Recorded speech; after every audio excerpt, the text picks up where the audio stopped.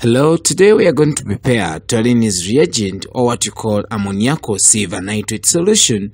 And remember, ammoniacal silver nitrate solution can be used to identify can be used to identify aldehydes that is with formation of a silver mirror or a gray precipitate in terminal alkynes we shall get a white precipitate. So here we go. We basically need three things. That is ammonia solution sodium hydroxide solution and silver nitrate solution.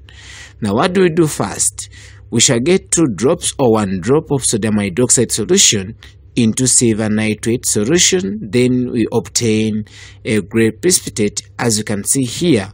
Now the next step add ammonia solution until this precipitate just disappears. Then as we add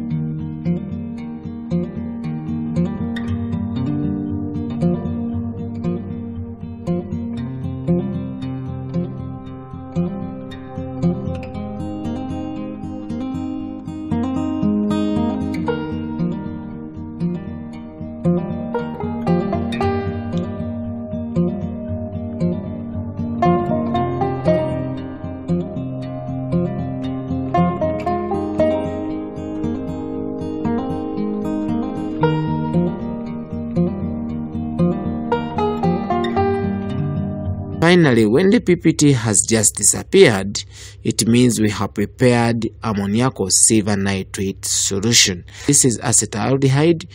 Then we add 2 to 3 drops of ammoniacal silver nitrate solution. In the next video, I'll show you how to make this reagent to coat and form a real mirror onto your test tube. But remember, once you form a silver mirror onto the test tube, you have destroyed the test tube. Guys, feel free to subscribe to my channel, Real Science Pearl, for more videos. Thank you.